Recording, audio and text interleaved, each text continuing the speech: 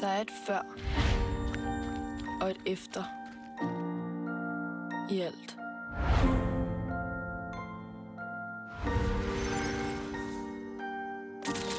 Der var et før, hvor jeg tænkte på tiden som noget, der bragte mig nærmere, hvad jeg nu end så frem imod. Han er jo så pæn.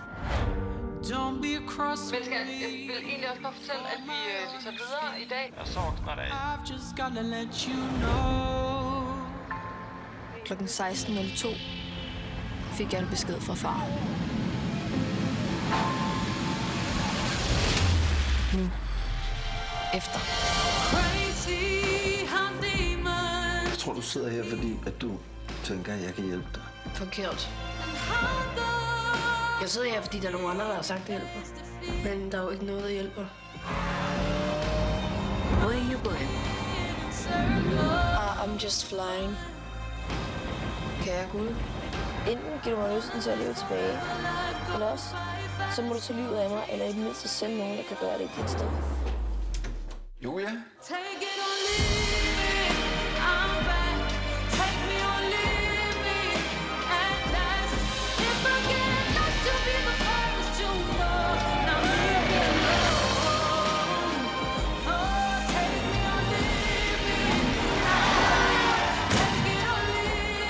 I'm back. Take it or leave